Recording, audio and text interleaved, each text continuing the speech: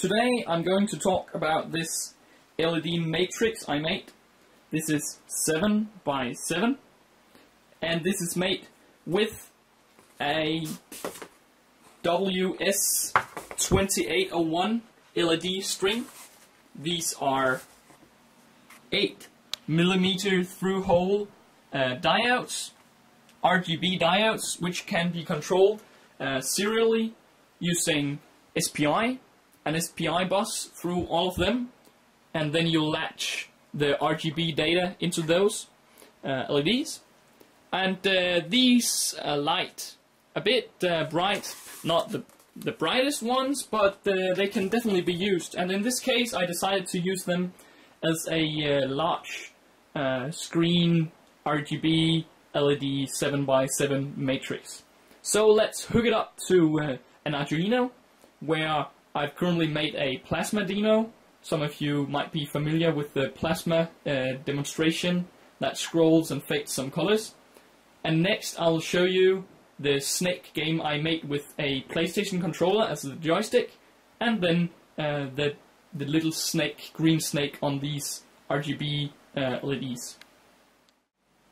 Here I've got the ITED Duino ADK, which is an Arduino Mega similar board or Arduino ADK uh, similar board with the USB host uh, connector. But currently I've just connected the LED string, the data and clock wire output, and programmed the plasma demonstration. And as you can see, the demonstration is running and uh, you might notice this LED um, can't emit red, so it's a bit odd, but it's because the the red color in this LED is broken. Let me turn down the light, the exposure a bit, so you can see it better.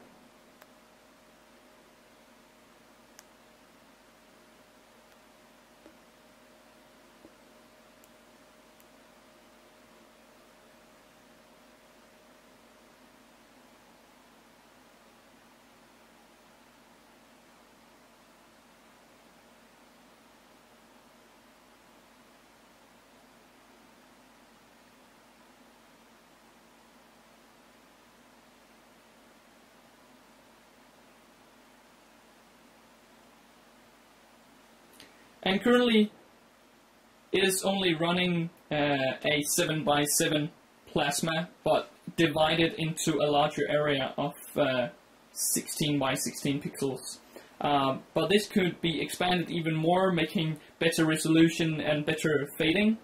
Uh, but it would require much more RAM, which uh, we don't have on the Arduino Mega or Arduino ADK. So instead we could put this on an ARM and uh, make a much smoother uh, fading plasma display demonstration. But uh, this is the just to give you an idea of how this LED matrix works. Now I'll program the um, the snake demonstration I've made into the ADK board, plug in the Bluetooth dongle, and then let's uh, play a bit of Snake. And now for the Snake demonstration. Here I've plugged in the USB Bluetooth uh, EDR compatible dongle into the ADK board and I've got my PlayStation 3 DualShock uh, controller. So I'll turn this on and let it connect to the board. And now it's connected so we go to the front where we take our controller and press the start button which will start our snake game. And then I use the joystick to control this yellow thing to catch the red apple. And when I catch an apple, the snake gets one point, one dot longer, as you can see. Whoops. And then I hit the wall. So to restart the game, I press the start button and we start again. And as you can see, the apple placement is being randomized. Uh, so both the place where the apple starts and also how many, uh, I mean how long time the apple stays at the location is uh, randomized using the random function of the Arduino uh, using an analog input seed. So you can have a relatively fun game with this snake on this LED matrix, even though, whoops, now I hit myself, uh, even though it's only 7 by 7